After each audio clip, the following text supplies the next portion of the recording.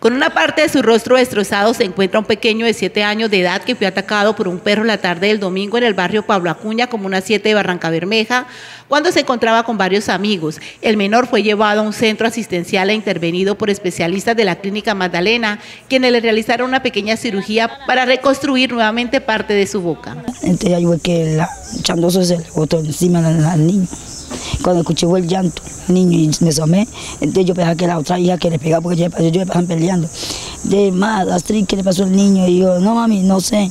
Y cuando iba el niño, el chando, el chando fue que me jodió. Y cuando vi botando sangre por la boquita.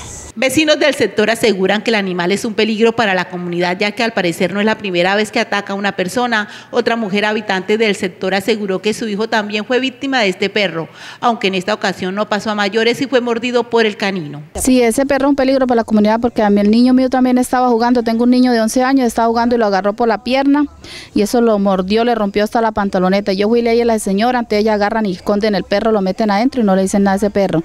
Uno deja la silla afuera y ese perro llega y se le orina en toda la silla y uno poniendo a lavar silla y uno le dice a ella que no.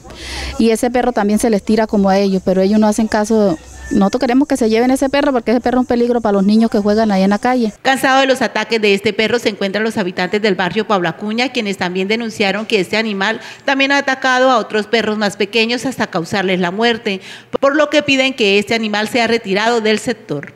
Que saquen el perro de, de aquí del barrio, que más adelante hoy pudo ser el niño ese, mañana puede ser el hijo de uno.